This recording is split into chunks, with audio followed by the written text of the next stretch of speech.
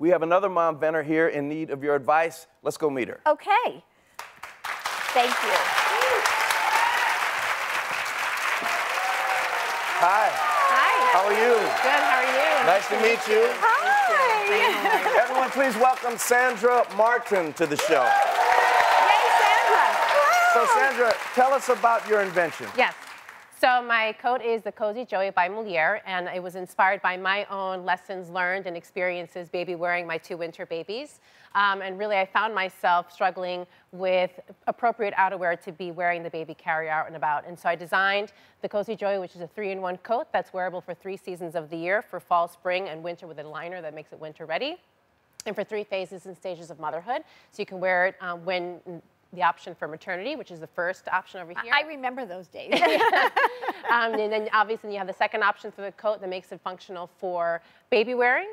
And the third option makes it functional as just mommy postpartum, um, out and about doing your thing. What would you like to ask Joy? Yes, I would love your expertise and insights on how to gain greater exposure for the coat and establish a stronger presence um, in the market for moms going through these very same things. well, you know, so um, I know you think this is a niche market, right? Yes. It's not. I think the most universal thing is m- moms having, women having babies, right? So I, I see that one of the things really to in your mind is you have to be an advocate for your consumer.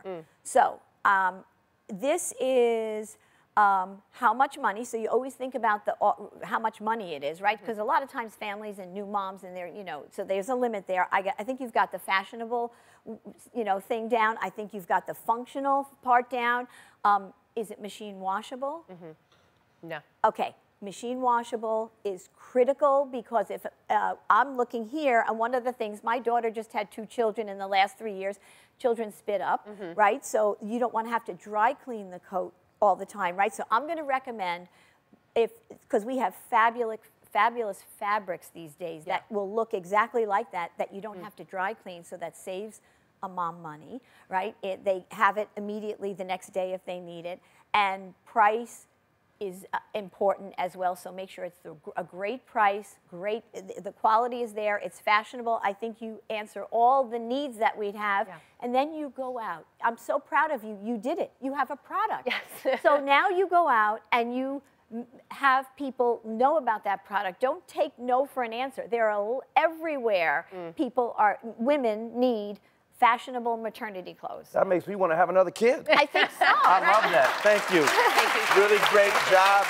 Joy, thank you so much. you. You're so incredible. Thank you. Now, that is not all because everybody in the audience is going to go home with Joy's book, Inventing Joy. We'll be right back.